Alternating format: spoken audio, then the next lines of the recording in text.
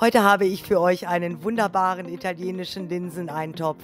Ein sehr einfaches, aber auch leckeres Rezept mit nur wenigen Zutaten in kurzer Zeit zubereitet und auf den Tisch.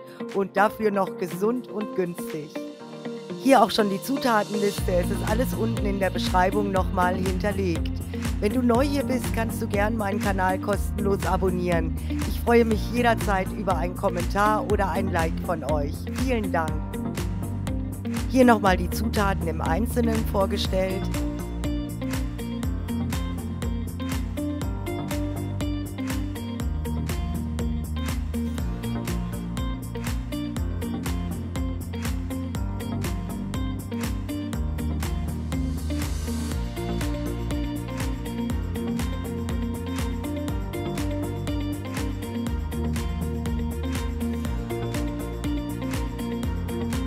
In einen Topf erhitzen wir jetzt einen guten Schuss Olivenöl und braten anschließend den Bauchspeck scharf an.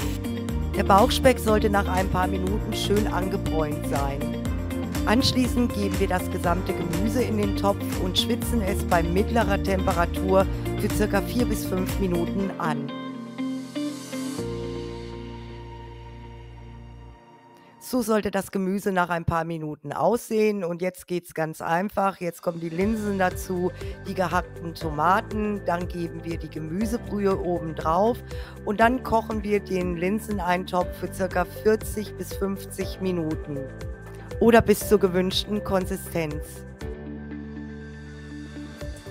So, und hier ist der Linseneintopf auch schon fertig. Es duftet fantastisch bei mir in der Küche. Jetzt schmecken wir das Ganze noch mit Essig, Salz und Pfeffer ab. In der nächsten Szene serviere ich dann den Linseneintopf auf Tellern. Die Italiener wissen wirklich, wie man kocht und sie können wirklich mit einfachen Zutaten tolle Gerichte zaubern. So auch diesen Linseneintopf. Jetzt noch mit Parmesankäse schön bestreuen und dann genießen.